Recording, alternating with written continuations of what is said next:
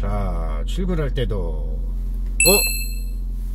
저거 댓글 왔다. 우리 구독자님들 내가 댓글 잘 달아줘야지. 좋아요는 필수고 좋아요. 잠깐만. 안 나갔나 봐야지 안 나갔나.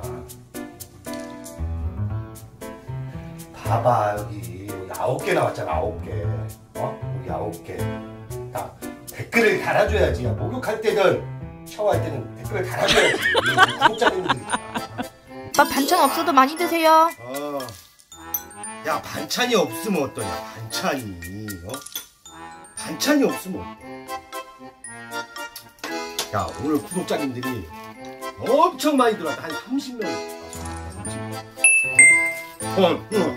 알람 왔다 알람 알람 알람 맞잖아 알람 남자분들 어? 좋아요 응? 알람 설정 좋아요. 구독은 기본이지. 자 설거지는 아빠가 할게 설거지는 자 이제 설거지는 아빠가 할게. 손. 아니 손 몰라? 손. 어? 손. 아니 손이 풀리면 안 되잖아. 그렇지 그렇지. 손이 풀리면 안 된다고. 여기 봐봐 알람도 여기 네개 왔잖아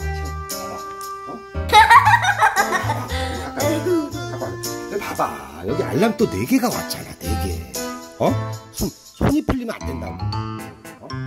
손이 풀리면 안 돼요 손이 댓글을 다 달아줘야지 어? 그치 한 번 한 번 소중하다고 한 번 한 번 알았어? 어. 그러실 것 같아